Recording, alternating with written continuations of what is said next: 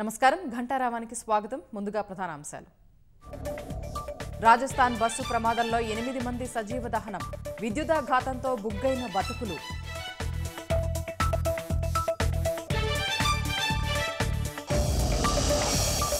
అనంత జిల్లాలో కూలీలతో వెళ్తున్న ఆటో బోల్తా. ఒకరి మృతి పదిహేడు మందికి గాయాలు.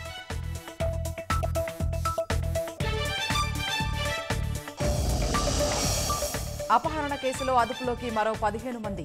భార్గవరామ్ కోసం కొనసాగుతున్న గాలింపు.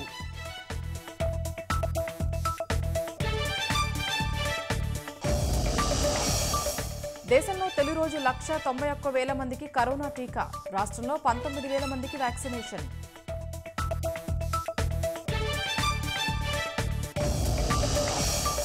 టీకా తీసుకోవాలని బ్రిటన్ ప్రజలకు ప్రిన్స్ విలియం పిలుపు.